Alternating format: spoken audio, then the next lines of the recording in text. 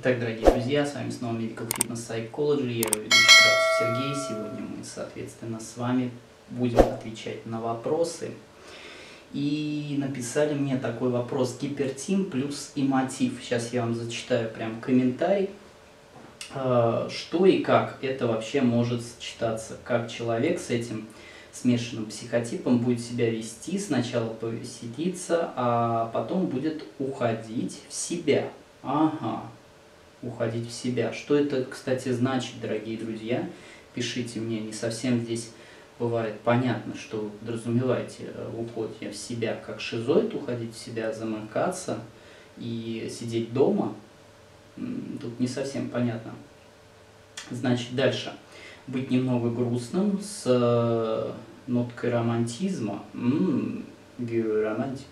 Ну, в общем-то, что-то такое. Ну, не совсем все равно понятно, э, что, что такое нотка романтизма. А после э, всего Тусача со всеми э, начнет, начнет определять, с какими людьми ему комфортно и хорошо, а с какими ему плохо, ну, душевные муки такие. Переставать с ними общаться, отстраниться от них. Угу.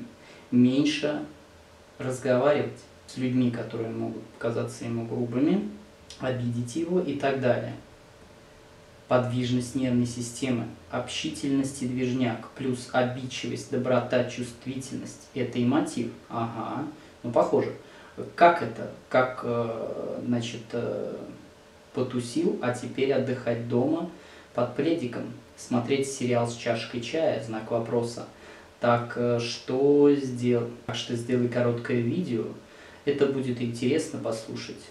Порой такое поведение человека можно перепутать с какой-нибудь биполярным циклометией.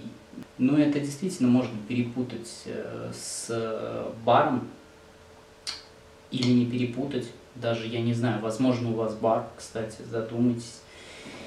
Я бы вообще, э, ну, предложил задуматься на эту тему, и не зря вы ее затронули. А, соответственно, гипертим может сочетаться с мотивом, конечно, но вообще гипертимы, они очень часто и похожи на эмотивов, их путают часто с эмотивами. Ввиду того, что гипертима не задерживается э, как бы негативная информация, психика очень подвижная, очень быстрая, он как правило, не фиксируется на негативных эмоциях. Он, конечно, в случае стресса способен и к агрессии, ну, как все-таки и большая часть людей, но, тем не менее, больше он будет э, тусить, как вы описываете, и прочее.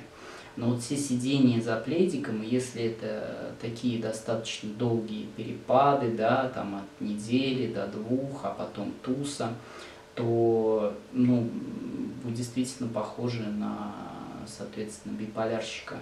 А, ну, что здесь делать? Тут нужно проходить консультацию онлайн и, соответственно, решать э, ваш вопрос. Тысяча рублей, тысяча рублей стоит консультацию онлайн, не так уж и дорого.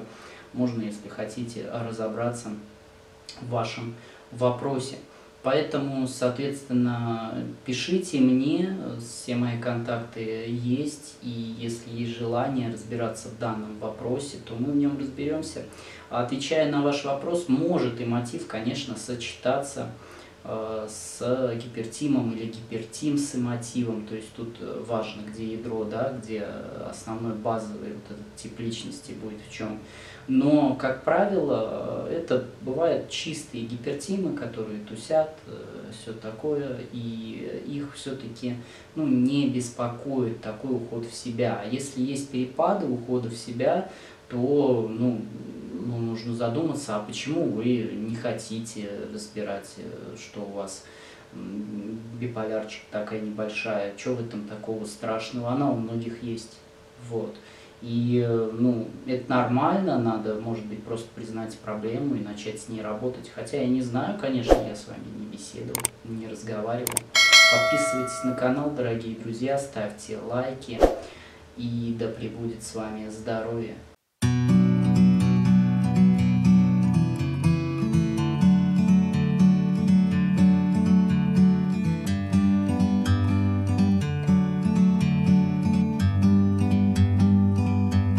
Like a bird on a tree.